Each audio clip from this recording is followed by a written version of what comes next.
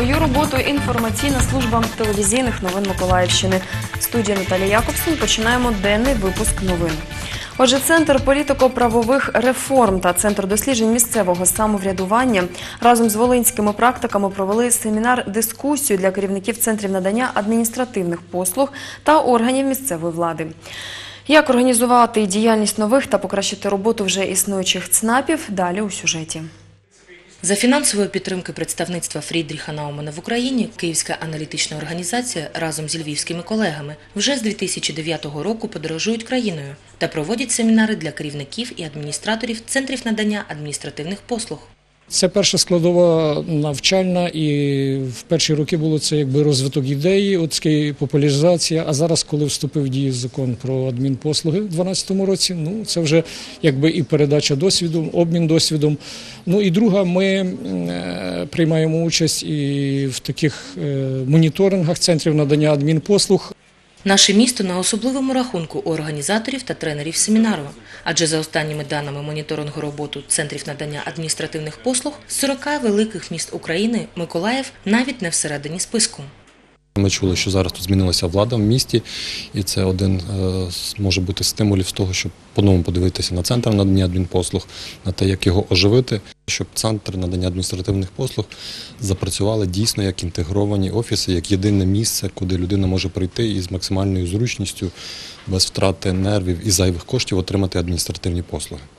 Ділитися досвідом приїхала директор одного з найкращих центрів надання адміністративних послуг в Україні Лариса Карпяк. На даний час Луцький центр надає повний спектр, а це понад 300 послуг жителям міста та області. З них 20 в режимі онлайн.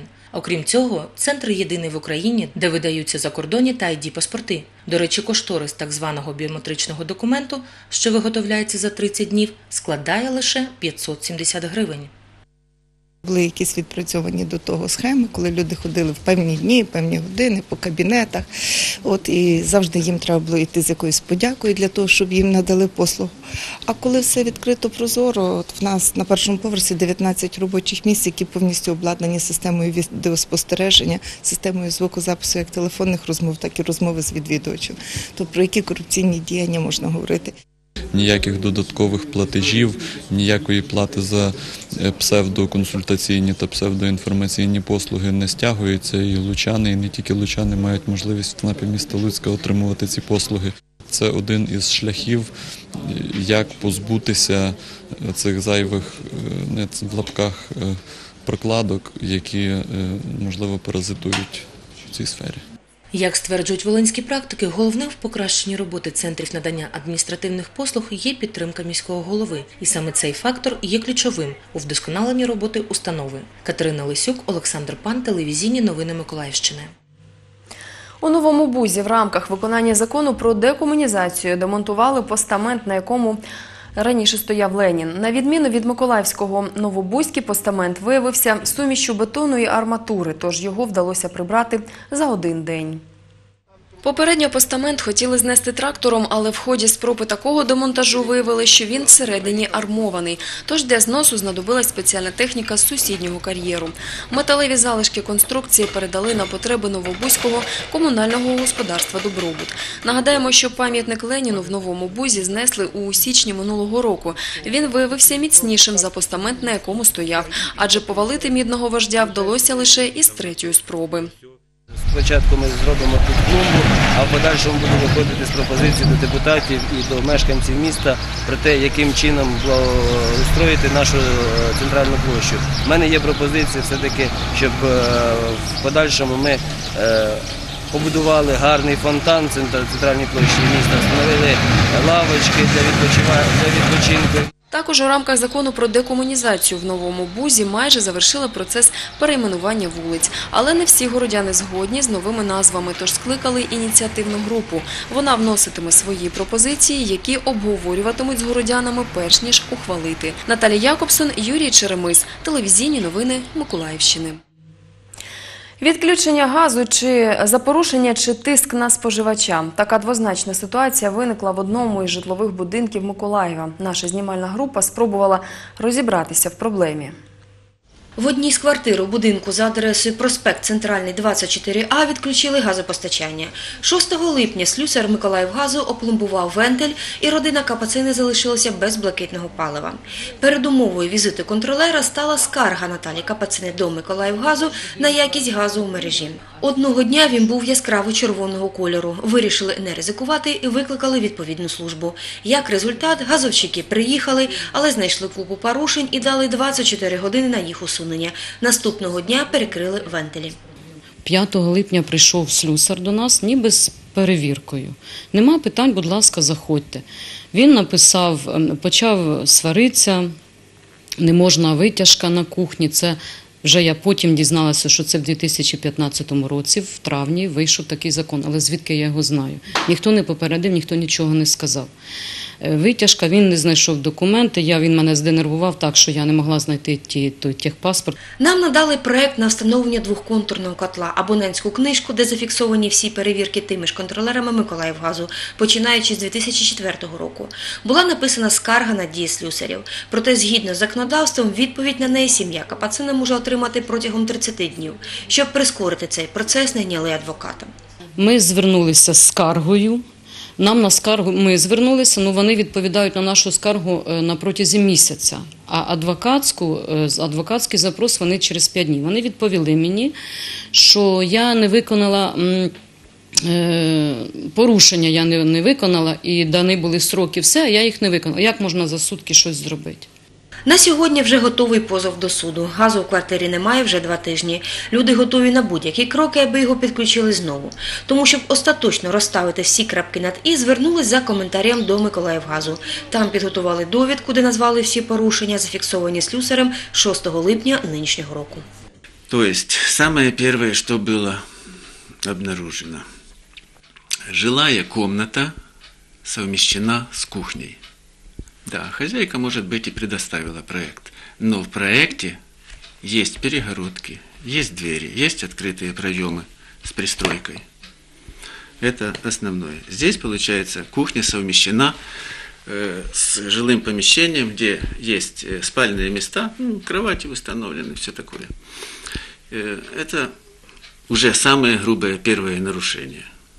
Також витяжка з примусовою вентиляцією та опалювальний котел підключені до спільного димоходу. Чинним положенням з експлуатації газових приладів це заборонено. Установлена вытяжка с принудительной вентиляцией. А по опыту работы мы знаем, что вытяжка – это самый первый злейший враг абонента, где у него на кухне стоят э, приборы с отводом продуктов сгорания в дымоход. Ну, э, третье нарушение. Дымоотводящий патрубок из э, гофры сделан и зашит в короб.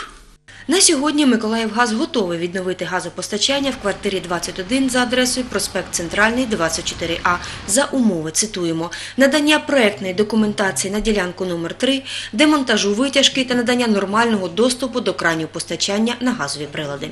Олена Міщенко, Юрій Руденко, телевізійні новини Миколаївщини. Виявляється, ми живемо серед справжньої зеленої аптеки. Про це дізнались учасники проєкту Зроби, збери, збережи, що діє в обласному краєзнавчому музеї Старофлотські казарми. Цього разу маленьким мандрівникам залами музею запропонували стати ботаніками і вивчати флору Миколаївщини.